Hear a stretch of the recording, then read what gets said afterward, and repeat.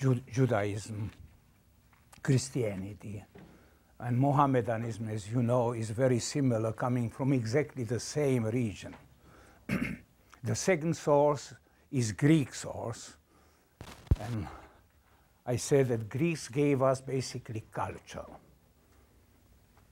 And culture is unique contribution of Greeks. They gave us philosophy, they gave us science, they gave us art, theater, dance, music. This is what we call culture. Way how man thinks, asking questions and emphasizing questions to which many answers were given, and they were not disturbed by it. You know, this is uh, a great sign. You know, when you ask questions and people give you different answers, and you don't get upset. You don't pull a gun, you know, and, yeah. and say, "I'm right. I always was right," and it seems to me you, you disagree with me. You know, so you know this is what Greeks gave us. This is very valuable contribution to human culture. The third source were Romans. Romans gave us civilization, uh, how civilian lives and can live together with the other civilian together in a city, what kind of problems there are, problems of water, transportation, uh, organization, laws. This is what Romans were great in. Also concept of military and the way how social order can be militarily organized. It is a completely different source than that of the Greeks. At the end of antiquity, Romans conquered the whole world, known world, for them, whole Mediterranean Sea. Agree with me, or else I'll pull my gun. Yeah. Yes. No compromise, you know, and uh, it was a dirty word to compromise with the Romans, you know, and so they were superior power they lasted about 600 years. During the second half, they never realized that they were falling apart. You know, Carnevale continued, you know, and, and they danced and were happy, and, and they even had slogans like "Carpe diem," catch this very day, squeeze out of it everything you can there won't be any tomorrow. Who cares for tomorrow? and they destroyed their own agriculture because they needed soldiers. They didn't notice it. So it went on and on. Greeks were the only ones who contributed to education of citizens by making him cultural. There are events which uh, they introduce. Olympic Games, 776 BC. Last Olympic Games were at the beginning of 6th century. Olympic Games were closed by Emperor Justinian. It lasted seven 12, more than 12 centuries. Plato's Academy was introduced in Athens in 4th century BC, lasted until 5th century AD, closed by Emperor Justinian. Alexandrian school, the great first scientific institution of antiquity, uh, was introduced by Alexander the Great in 3rd century BC, closed in, in 5th century by Emperor Justinian. So everything what Greeks produced was closed at the beginning of 6th century, 5th, 6th century. So it tells you that the world was radically changing. Yeah. So there was a general belief that less you know, more you can achieve and closer you are to God. This very concept continued, it was stronger and stronger. There was no room for education. It is very char characteristic that the great woman, leader of Alexandrian school, Hypatia, was killed by Christian mobs, dragged through the street of Alexandria. And this was the end of Greek culture. So it went on for about 200 years. And here is a remarkable moment which uh, I call the beginning of Renaissance. Western mankind must have gotten tired, and the leader of the Western mankind, Charles the Great, must have realized that it cannot go on. Surrounded by advisors, he didn't know what to do because he himself subscribed to it. And here is something remarkable what happened. We don't know who advised him how to renew the educational standards of Greeks. He, he was a Christian. You would expect that he will go and ask theologians to help him to reintroduce education.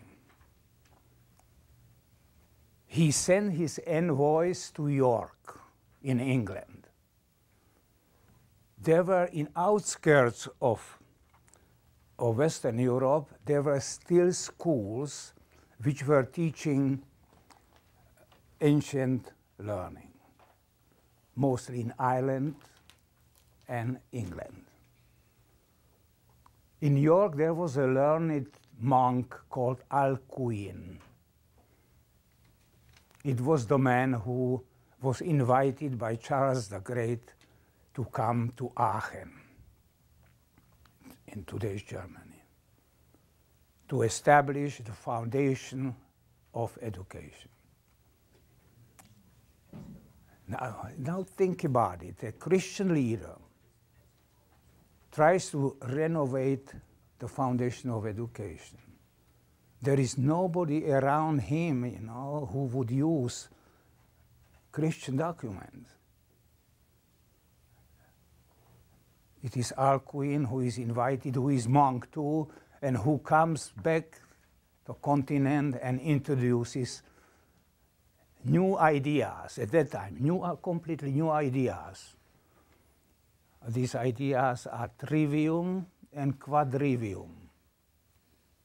Trivium of Greek sophist, quadrivium of Pythagoras. Christian monk brings ancient learning. It is embraced. He becomes the most important advisor to Charles the Great, later moves to school of St. Martin in Tours and establishes first schools which will be teaching the ancient Greek foundation of learning. Four Pythagorean disciplines dealt with the mind, arithmetics, concept of number, geometry, concept of number in plane, uh, astronomy, concept of of number in space and time. Music, concept of number in time. Concept of number. What is concept of number? Where it is coming from? From human mind. Of course, it was not so easy to invent this mathematical philosophy, which simply states, answers the question of, of Greeks. What is everything coming from? What is the underlying substance out of which everything comes from? There were others contemporary with Pythagoras who said it is water. The other was, no, no, fire, fire. So wait a moment, air. And Pythagoras says, guys, it's number. it's number. Number is essence of this universe. And he creates a philosophy of number. Everything is number you see how we have inherited this tradition of Pythagoras up to our own times. Everything is number. Unless you can number it, it is not.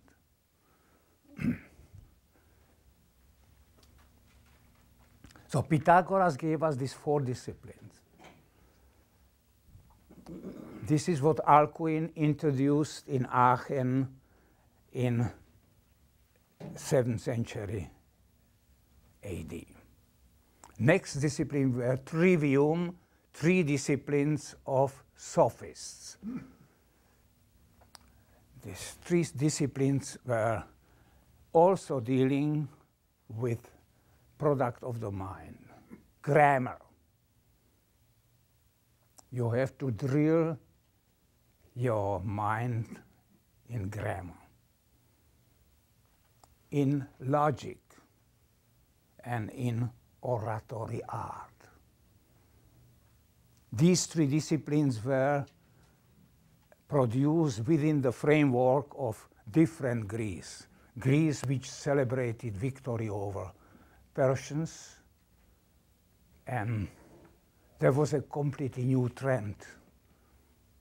No more asking questions where everything is coming from, but how to be successful. And how to be successful means you have to know how to fight in democracy, how to speak, how to convince everybody what is the case. They produce a philosophy which states man is the measure of all things. The way he measures is that is what is, but he has to have a strength, power. In order to say what is the case, he has to be powerful. It's a completely different way Greeks produced, you know, to be successful at any cost. They were the first teachers who received money for education. More you paid, more music you got. So this is the concept of sophistic teaching. This was very important to improve the mind, but as you see, it can be very easily misused. Sophists received a very bad name in the history of Western world. In part, they were responsible for death of Socrates. They produced politicians who were responsible for so death of Socrates. So Plato built a monument for them in his dialogues, and they became kind of people who should be kept away. They were rehabilitated in 19th century in the United States and regarded as prototype of philosophers. successful people. It penetrated our system of laws, uh, today's advertisement. This is run by sophists. And nobody dares to say anything against it. It is final victory of sophists in today's society. So, Alcuin introduces these elements in Carolingian Renaissance. This is the beginning of what will follow during Middle Ages. So there is a new impetus, that man can be educated. What he does with it is up to him. So we will start educating people in these seven liberal arts, three plus four. So Christian society acquires a new backbone from antiquity.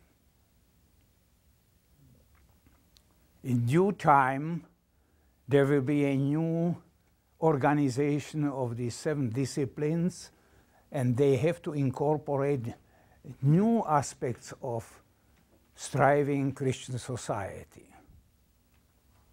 There were many elements like uh, later during the Middle Ages, uh, there was an attempt to liberate Jerusalem.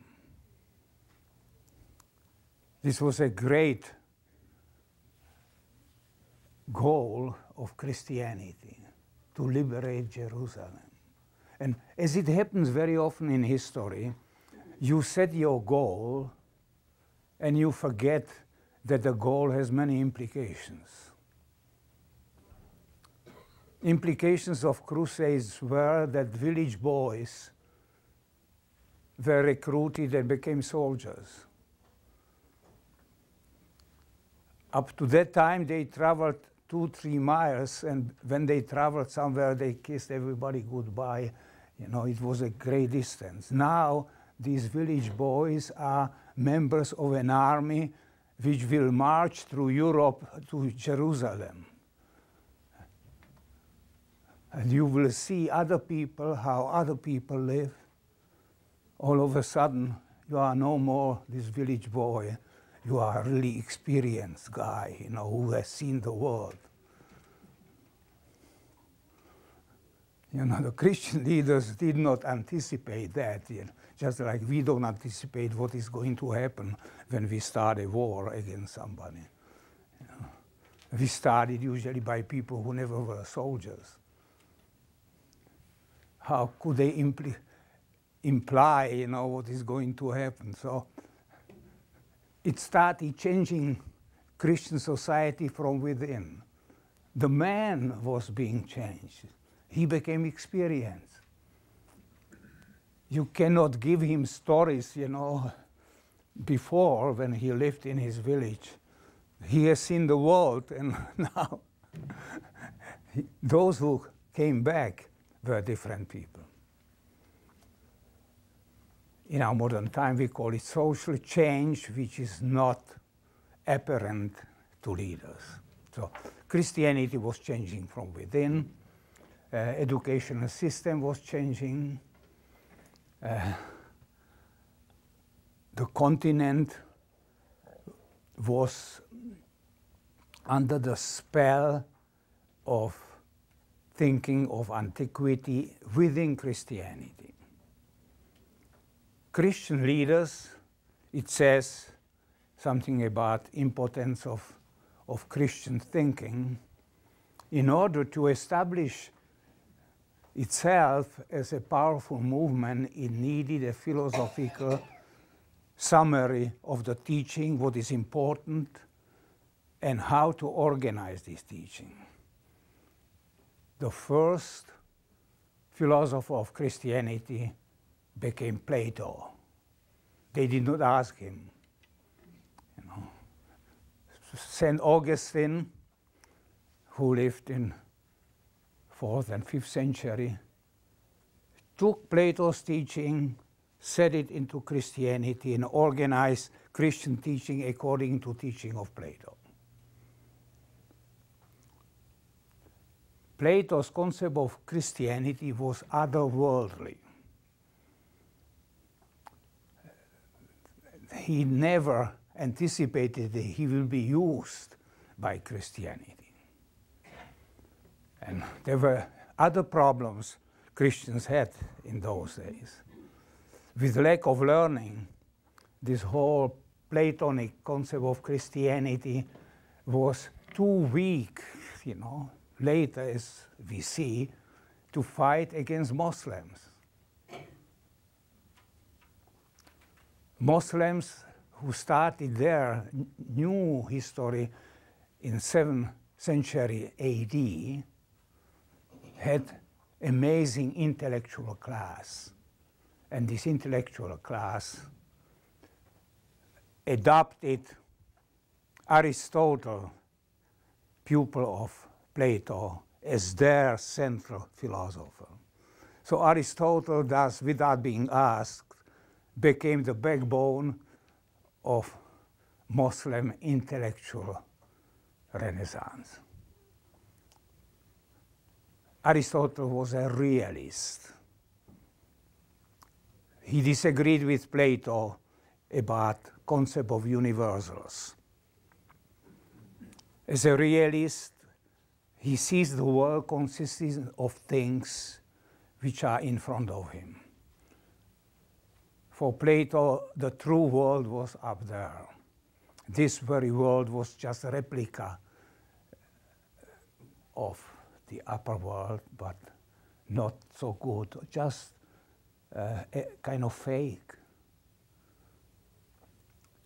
So these two types of thinking inf influenced tremendously Christianity, which was otherworldly, Muslim movement, which is down to earth. Muslim as soon as they got organized, they continued along the coast of Africa and came up to Gibraltar and jumped over to Spain. You can imagine that Christians were alarmed. what to do again? And under these circumstances, uh, during 13th century, Western Christianity produced a, a great man, Thomas Aquinas. He decided that it is high time to replace Plato by Aristotle, thus acquiring a new foundation of Christianity which will be realistic. But if you play a new game with religion from up down to the earth, there are implications. You have a different society you will be facing pretty soon.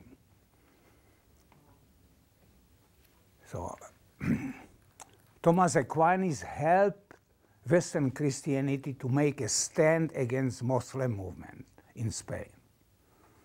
But at the same time, the whole movement of Christianity acquired a new way of thinking, realistic way of thinking.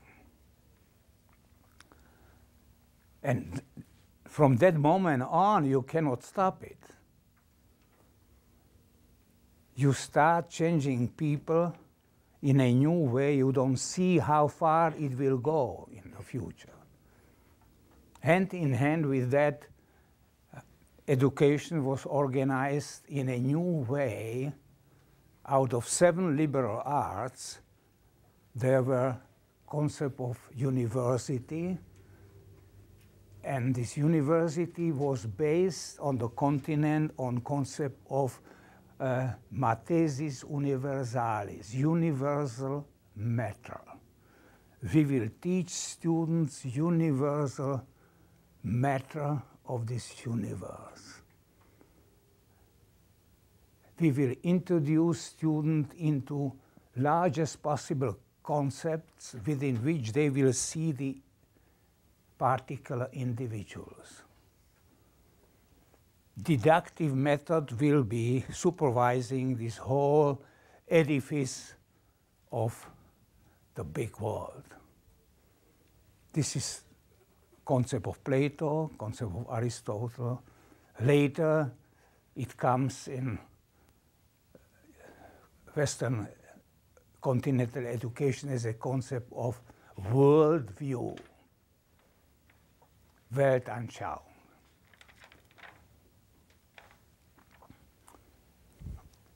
So the continent will have a goal to educate people that they recognize particular within larger context.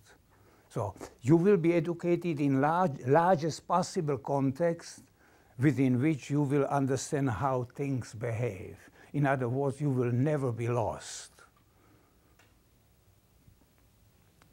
This is the purpose of worldview, Weltanschauung. At the same time, there is a different view which we notice at this time coming from England.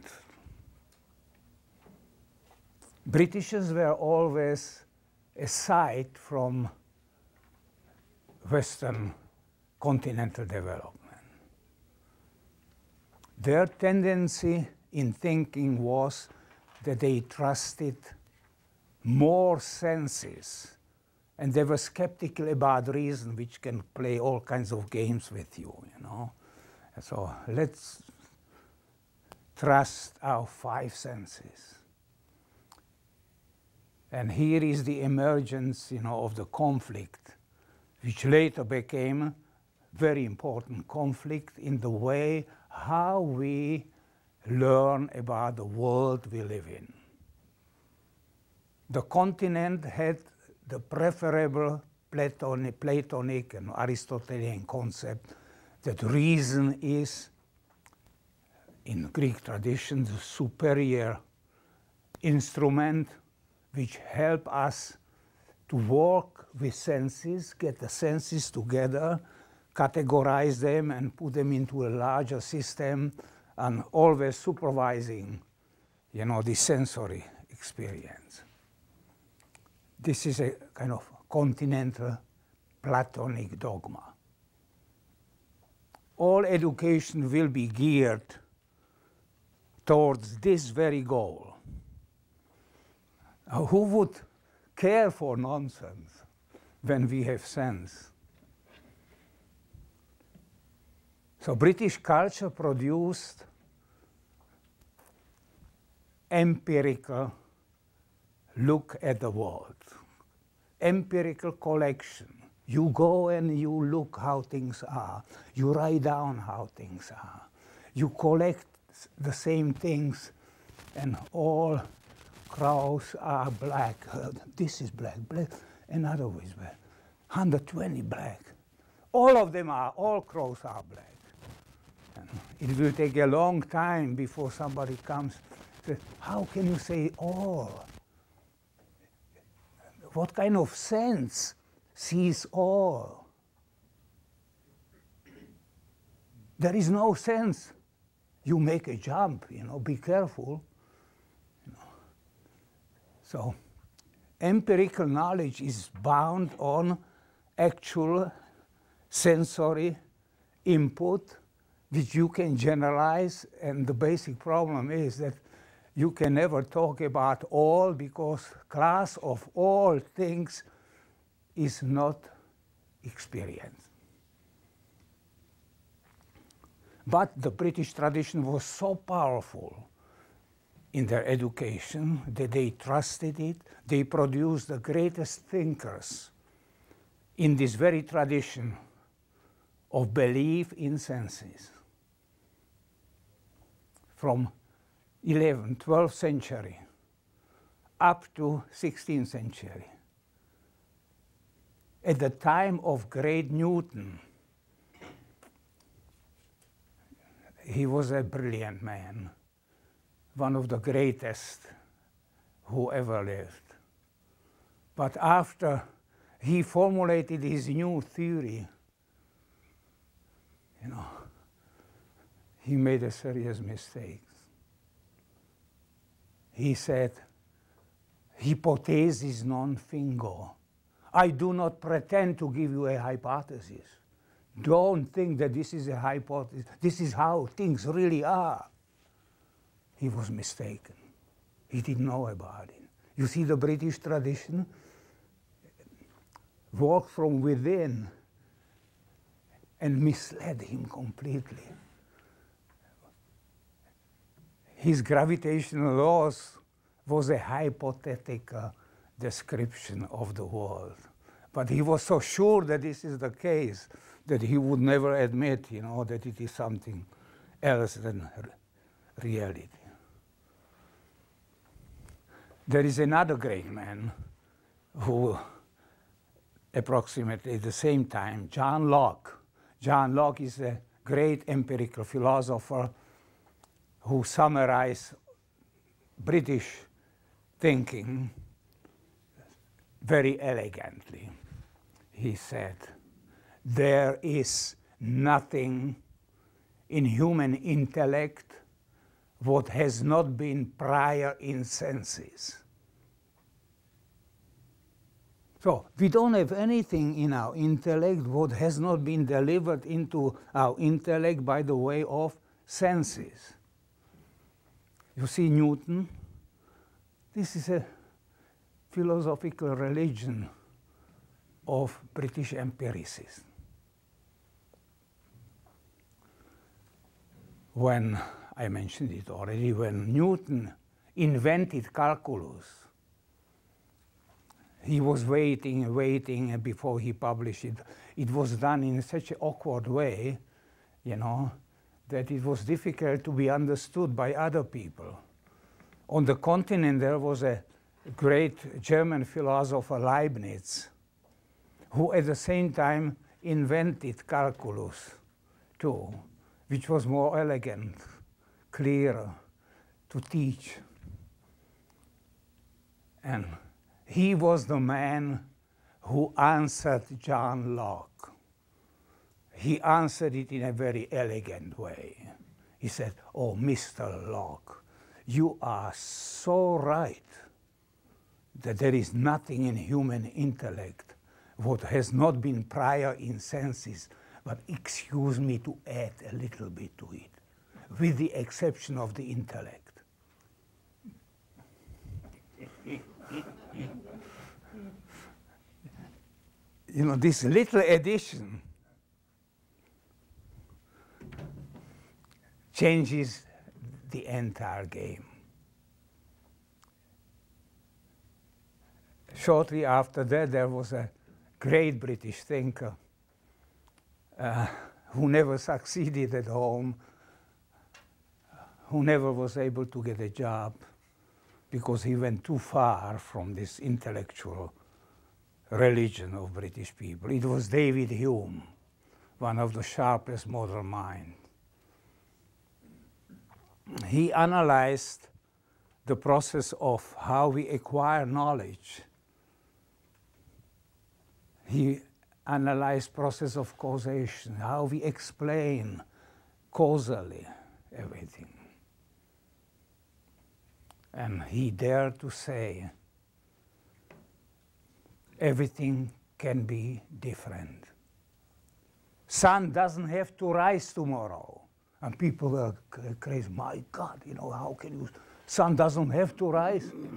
No, nothing has to be according to inductive series we have experienced before.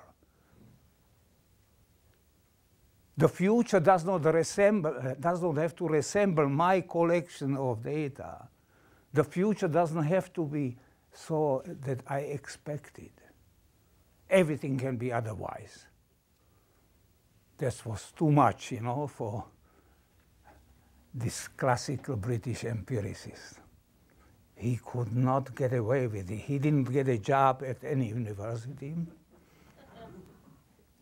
You know, you don't let our youngsters be taught, you know, by, by this kind of teacher. He has nothing to teach. The Bishop of Edinburgh, Edinburgh uh, kind of excommunicated him. You know, these are crimes. And it was David Hume who alarmed a German thinker who lived in, in a city of Königsberg. It was Immanuel Kant.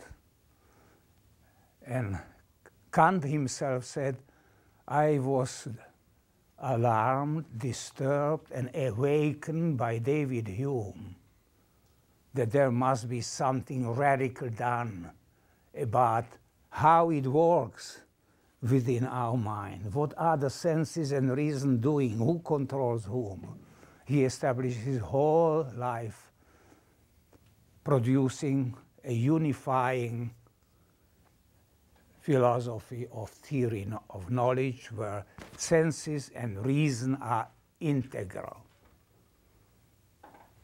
He gives you a feeling described in a superior Germanic way that you are getting sick uh, out of it in detail, everything in detail. It is like a big mill, you know, we are getting grain from outside, you know, and then if we get flour and, and then uh, Eh, out of flour we make cakes and bread and at the end beautiful loaves of bread come. You know, this is how he described our mind with senses and final products. So it was a long way from this naive belief of British empiricists. And here is a tradition of thinking which uh, Greeks invented. In logic, there are two large fields deduction and induction. You can now sense that British embraced induction and all their great thinkers were contributing to induction. Francis Bacon was the last one, but Stuart Mill in 19th century was still inductivist. You know, deduction is deducing from principles the details to particulars. It is the uh, uh, concept of syllogism. The classical example is uh, all men are mortals. Socrates is a man, therefore Socrates is mortal. You know, inductivists would say Joe Doe was born, lived, and died. Joe Crow was born, lived, and died. And Mary, stubborn, was born, lived, and died. I can say that all people are mortal inductively because they were born, lived, and died. And now you would say, wait a moment, you cannot jump to all people. You can never have all people. He said, I beg your pardon. You know, will you accept my conclusion that it is highly probable that all people who were born, lived, will die? That sounds better. You see, this would be the inductive conclusion with probability. But man was always striving for certainty. So deduction at the same time gives certainty. You find it in structure of mathematical thinking. Greek mind was striving for certainty. And they invented a concept which is necessary for deduction, concept of axiom. You base everything on axioms. What are axioms? You don't know? Clear, distinct, self-evident truth. Oh, clear, distinct, self-evident truth. Of course, you would never dare to challenge it, you know, because you would say that you are ignoramus, you know. Then, you know, I think there are certain things are not, it is not clear to me. Well, that's your problem. Axioms are clear, distinct, self-evident truth. Write it down. What are axioms? And forth. more than 2,000 years, students will jump up, say, clear, distinct, self-evident truth. A. So it will go on and on. It is a very serious business, you know. So the whole tradition, this deductive tradition is based on definition of axioms, which is defined this way. For millennia, we will teach it in school. We teach it in school so that everybody uh, can learn it in such a way that he is like a little parakeet. You know, he will repeat it and he will get his A. Nobody has to think. So this is a great achievement of our education. For millennia, we teach people not to think, but we give them good grades for it. Is our constitution sort of based on the preposition that all men are created equal? We hold these truths to be self-evident. Exactly. yeah, And if it's self-evident, then it doesn't have to be proved because by definition, Yeah. that's it. That's it. yeah. And say, lots well, moment, maybe some of them are more equal. Yeah. Yeah. It gets more complicated. Oh, oh, uh, maybe some of them are not people. Or if somebody comes along and says, "Is this is self-evident to me?" Then, Yeah. you know, you, you wonder how strong it is. It is exactly the same. We repeat, you know, uh, all men are born equal, you know, and you are constitutionalist. uh, I will fight for constitution. Yeah, yeah, it seems to me you disagree with me. You- it is exactly the same, you know. It's all based on common definitions, because the definition of man Yeah. uh, has to be common, it has to be, and it wasn't common. Yeah. What was common was that man wasn't black and it wasn't woman. so- Yeah. so You see, it is applicable exactly. The- But you know, the mathematics was this, the superior structure. Up to now, you know, we, we kind of shake it's better, uh, you know. We, Isn't geometry set up that way, that you list the axioms, and then you, from all these definitions, then you go into, uh, you know, describing the, yeah, the particulars, yes, yeah. But now, can you imagine that there will be some someday in some country somebody uh, who will rebel? You can imagine, like David Hume, you know, there was a, a monk, Italian monk Saccheri, in 17th century, who had doubts about it, you know, and he dared to mention it only to few close friends, you know. He had doubts, you know, about the whole foundation of mathematics based on axioms. He felt that maybe some of these axioms are not so clear, distinct, self-evident. But in front of professors, you know, he did not dare to state it, you know. So it will take another 200 years until the time of great German mathematician uh, Gauss. He himself was not sure, you know. To, he didn't want to announce it. So he had brilliant students. One of them was Hungarian, Bolyai. The other one was Russian, Lobachevsky. The third one was German, Riemann. They were young. So he told them, you know, maybe these axioms are not so clear, this thing. No, but don't quote me. Don't, don't, don't, don't, don't quote. quote. And these were youngsters who wanted to be famous. You know, they went out and produced a different system than Euclidean geometry.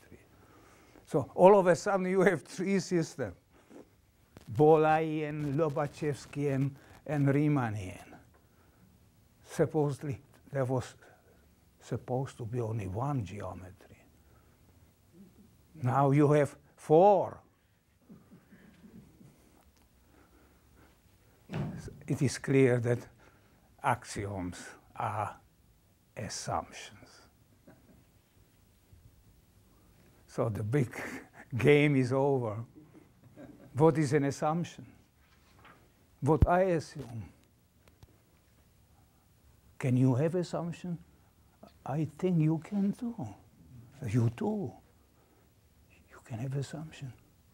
But we have different systems, different systems of thinking. I am born free to have my own assumptions. But the, you see how far it goes politically, religiously, scientifically, philosophically. This is a completely new game. Isn't language itself, uh, oh, you look at the whole uh, conflicting and, and uh, uh, reality around you, in order to understand it, you break it into little pieces Yeah. And you attach words to it, and then all the people in society agree that that Yeah. word means that thing. Yeah. And you create the thing, in the sense, by general agreement Yes. of, about what the words mean. Yeah. But h- how close that describes reality is kind of arbitrary, isn't Yes, it? exactly, arbitrary. This arbitrariness is scary, you know, for people. The implications are so tremendous, you know. And then if you go from one culture to another Yes, culture, yeah. they use different words, Yeah, and from the words, they make assumptions, yeah. which may be different. you know, here is the freedom. Here is the freedom of assumptions underlying our thinking. And I'm afraid this is not what was in mind of our founding fathers. It was a long time before Gauss. And Gauss himself, brilliant man, he was afraid to. Hume was not afraid, you know, but he suffered more. But can you have a society uh, without an agreement among all the people within yeah, it yeah, that uh, all men are created equal? Yeah. They have to agree to that, and then use that as, as, you know, make laws and all Yeah, ways of yeah. behavior based on this assumption. But it, whether it has really any reality or not, it's, you know, you're wondering where, where it comes from, Yeah. you know, aside from agreement yeah. people. You see how weak Oh, the whole thinking background of our Constitution is. Of course, you know, in this class you, will, you won't bring it out. Or, you know.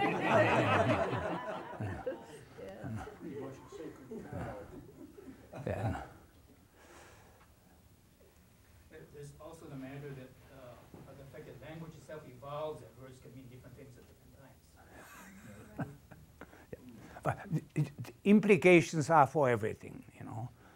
The freedom is of each individual to have his own view, assumptions, be aware that he's building his view of the world on his own assumptions. Of course, this is tremendous implication, we know, for science, religion, philosophy, for everything. Can we live with it? Man is striving for certainty, you see.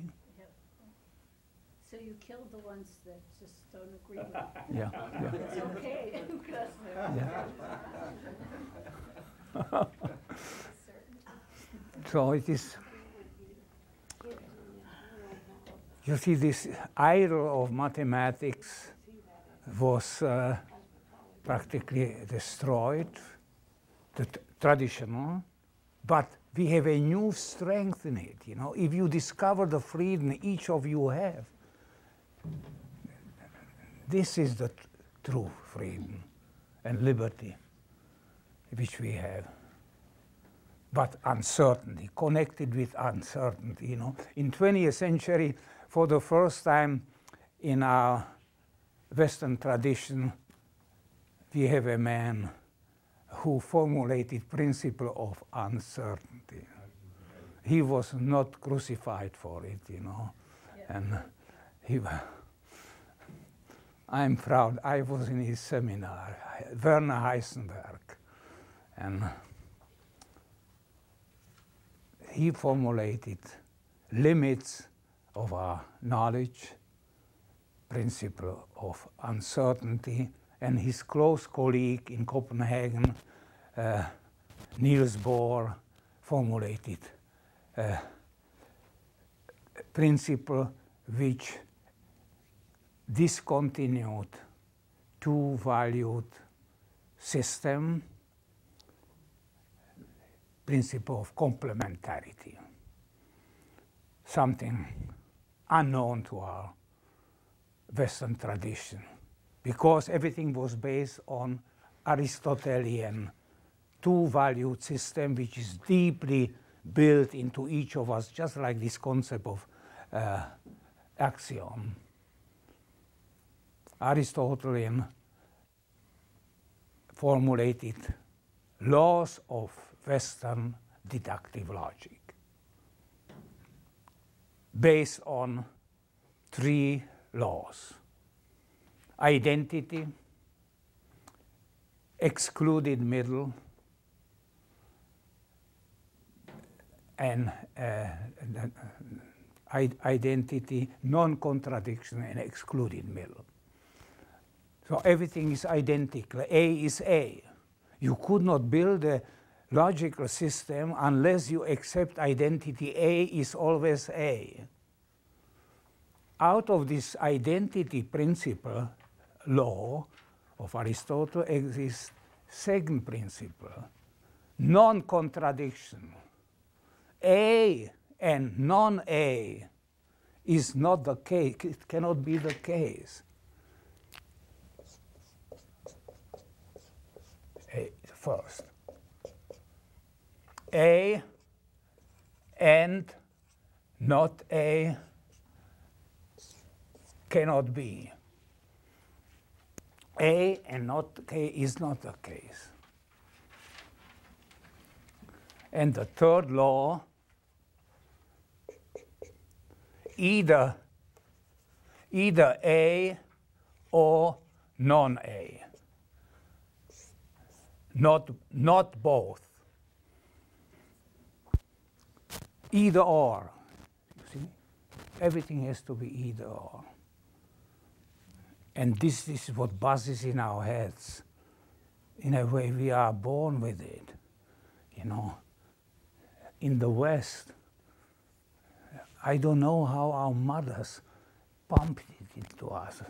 Our mothers very seldom know about these three laws. And, but it was so deeply in all of us, in our religion. We know two-valued system, you see, in science. You prove or disprove. So it was at the beginning of 20th century when thinkers associated with quantum physics in Copenhagen dare to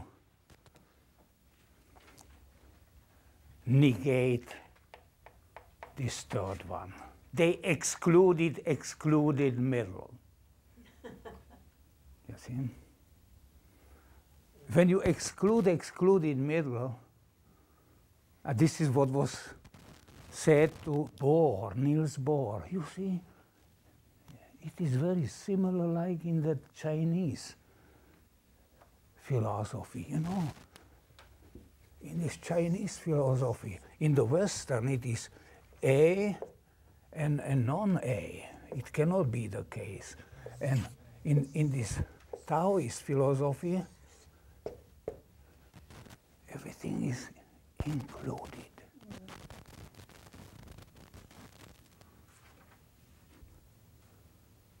And Niels Bohr, who uh, this is a mistake of many of our Western thinkers, they think that he learned it from Taoists, you know. He had nothing to do with Oriental philosophy. He discovered the very principle in his thinking about quantum foundation of quantum physics. After he was told about Taoists, off he went. Let's go to China. He went to China, you know, to learn. He had nothing to learn there, but he, was amazed that 2,000 years ago, you know, they had this concept at the time when Aristotle was beating, you know, this two-valued system into our Western structure of thinking.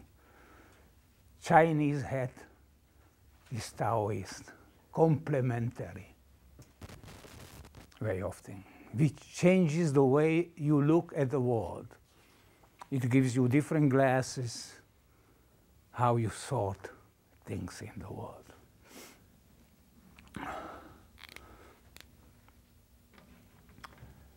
Uh, so when we when we go into back into Middle Ages, we see the foundation of universities.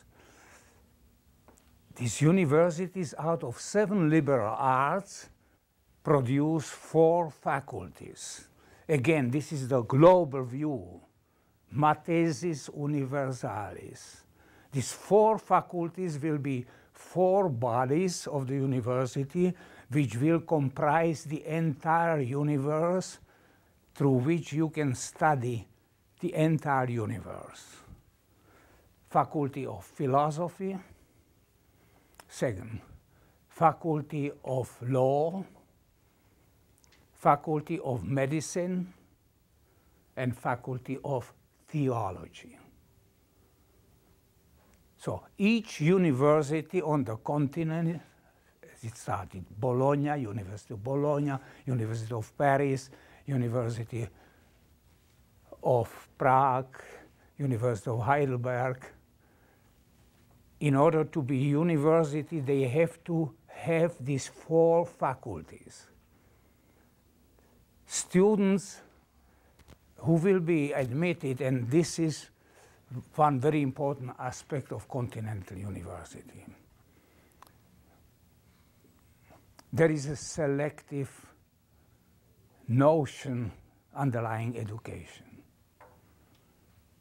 Not everybody will study you know, educational system is not a cube. When you, from kindergarten, you carry everybody up to PhD. You know. Continental system is a triangle with elimination. So these universities with four faculties did not teach the whole nation. They taught only those, this is Plato's triangle, who were eliminated, eliminated, and at the end only the peak reaches this universal knowledge. And then they can specialize you know, but they have to have the wide background within which they specialize. There is no specialization for the sake of specialization. you can specialize only within the largest possible structure. This is the difference also between British and later American system. University uh, schools like gymnasium is an elite school which translated very often as high school. But high school, American high school is product of cube. Continental gymnasium traditionally is a triangle. When you leave continental middle school, you are well versed in world history, your own history, your own geography, world geography. This is the basic you have to know. It can never happen, you know, that you produce a soldier who goes to Iraq and doesn't know where it is. And, and when he's in Korea, he doesn't know where he is. He wants to go home. He's very unhappy. Why he's there? You see, this is not the purpose of our education, you know, to give the largest possible framework to people. By the way, what happened in Afghanistan uh, recently, this is the byproduct of it. Um, I'm familiar, you know, with the cases uh, from Korea during Korean War. I read the studies, Russian studies, investigating American soldiers who got into captivity after they attacked uh, North Korea.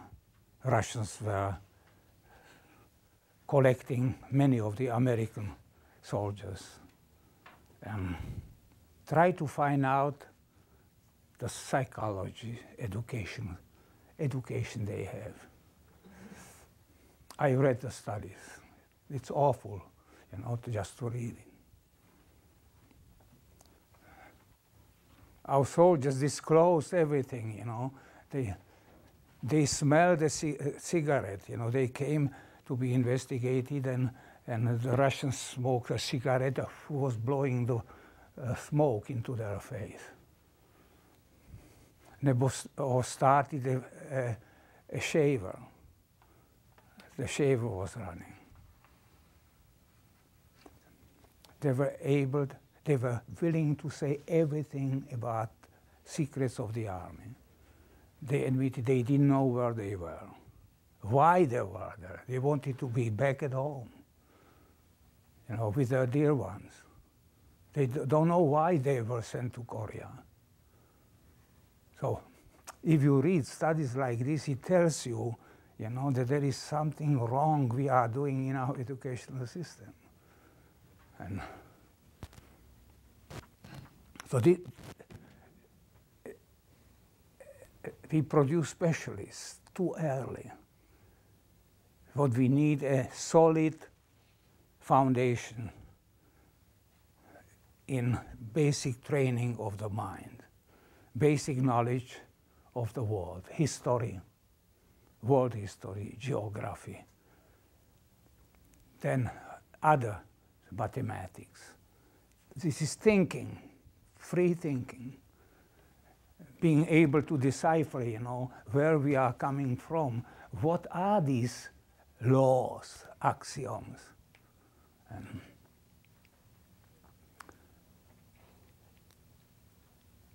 the universities during the late Middle Ages laid down the foundation for Western development. Uh, there were two great universities in England, Cambridge and Oxford. Uh, later in 19th century, it was revitalized by uh, Cardinal Newman, who had deep interest in foundation solid foundation of British learning. he was fully aware what happened uh, with empiricism. That British people have to start educating the people, you know, in general culture of the world, especially since they are imperial nation, since they have colonies. They cannot go into colonies, you know, just believing what they found empirically around them in, in England. And they succeeded. They were producing elite. So evidently elitist education on the continent was copied as elitist education at Cambridge and Oxford. The question remains how far we can get with education of everybody. This is a noble goal of American education, to educate everybody. Could it mean that it is equal to educating nobody? And this is a serious problem. We see now, just listen to our political scene. These are the leaders who are going to lead us, uh, who have never been anywhere in the world, who have problems with basic geography. Not only the world, but United States too. So there is something wrong we are doing. And this is the implication, you know, of this traditional emphasis on educational system. This concept of continental universities was elitist. You know, I remember when I escaped to Austria and uh, the system of education was the same all over Europe. Since I had gymnasium, I was able to study anywhere on the continent automatically. What was it was expected that I know foreign languages, Latin, little Greek, I know world history. So I am accepted automatically in Austrian university of course, provided I speak German. And I had friends who came from the United States. I helped them to get registered at the university. And they did not speak German. They wanted to study psychology because psychology was preferred field in 50s. So I introduced them to the dean and ask them to let them in. And they speak English with him, with the dean. And, and I convinced the dean just to let them in and give him a chance to learn German. And I never forget uh, one close friend from San Francisco. He was nervous. Uh, he, the dean asked him, what do you want to study here? Asked him German university in English. he says, I want to study Russian journalism. And he says, you know, uh, we don't teach uh, Russian journalism. You have to uh, learn history, history of religion, philosophy, economics. No, no, I want to Russian journalism. He said, no, we don't teach it here and he was nervous, you know. I want to specialize in Russian journalism. it doesn't exist here. And he was so nervous, he pulled out a cigarette and started, uh, you know, uh, in his office, and he pulled a, uh, a pack of cigarettes and asked the dean, Raus du, in German, Raus du. And, and, you know, this is what he knew in German. Raus du, you know, this is, you know, this difference between Z and, and du. and the, the dean was all shaken, you know, that somebody would dare to call him like a boy, you know, around. So he said, no, no, no, no. In English, you I don't smoke, you know. so it was embarrassing, you know. but he wanted to study Russian journalism. It took him 20 years to learn it when I later was meeting him in San Francisco that you cannot study Russian journalism like that, you know, a specialty. Here you can study any specialty, you know, without the larger background. So this is the basic, basic difference.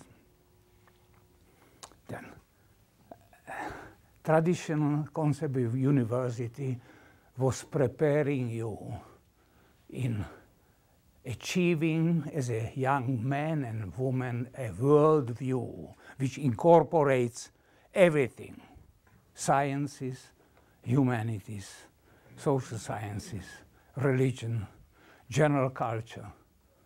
So you are educated man provided you have developed this worldview. So the goal of education is to have a worldview my colleagues here at the university told me, told me when I talk about it for the last 50 years, it's impossible to have a worldview. How can you have worldview? You know, when uh, I study geology, you know, I'm so busy studying geology, I don't have time to do anything else. And, and you talk about worldview. You have to approach it differently. And still, after all these years, it is impossible. You know, in our context of education, it is impossible. Uh, because we don't believe that human mind can comprise, you know, this worldview. Yeah, so here is, you know, Greeks had a, a, a great, great uh, saying, hic Rhodus, hic salta. When uh, Rhodus was an island, and whenever there was a problem, they said, this is a real problem. Here you have to jump. Hic Rhodus, hic salta. Do you remember? Yeah? Hic Rhodus, hic, this is hic Rhodus. We can jump here if we can. I have a question. Uh, English university system. But What about they're in contrast with the Scottish philosophy and the Scottish philosophers, and Locke is one of those. Yeah. And, and when did they uh, submit to more of the Scottish philosophy? I mean, and what happened to Edinburgh? Edinburgh was the home of the Scottish philosophy. Yes, you know, Scot Scottish people were Catholics mostly, you know. So they were getting, you know, the educational philosophy uh, through Catholic sources.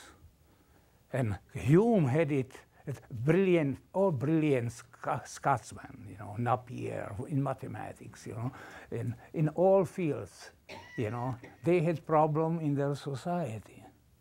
Just like you have a problem in our society, you know, whenever you get away, like uh, those who didn't believe in axioms, you know, had problems university did not give them a job.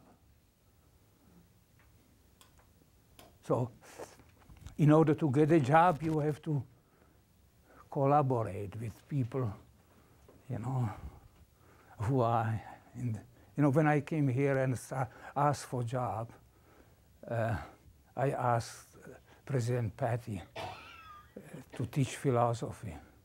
He said, my God, can you make something would make sense?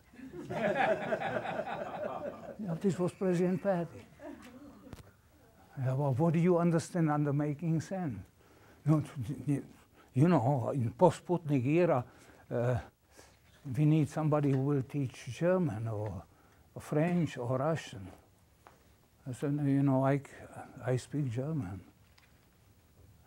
I speak Russian. So I was examined, I was given a job to teach languages, and he could not help to tell me forget your damn philosophy. he was a minor. You know, University of Alaska started a school of mines and school of agriculture, you see? But the name university, it has nothing to do with university. Probably still it does not. you know, university, by the way, made a, made a film. They feel sorry probably for it. and those of you who have not seen it, uh, it was made by the university by Dan O'Neill. You know Dan O'Neill? Um, it, it can be found on YouTube, on Facebook, on uh, iPod and iPhone. It is Dr. Rudy Krejci, philosopher and rebel. and rebel. So on YouTube, on, on YouTube, you know, Dr. Rudy Krejci, philosopher and rebel. And uh, he will never receive any award, uh, uh, Dan O'Neill, you know, in Alaska, you know, for his, for his achievement as journalist and filmmaker. And we have uh, here our great filmmaker, Mr. Owl, who collaborated, who made the film, you know, and so. But you know, they award you. You know, I think I was ignored most of my life at university by upper echelon because uh, presidents didn't like me. And, uh, and I tried to use plain language and, and say it, things how they were. And so, if you want to survive, don't follow me.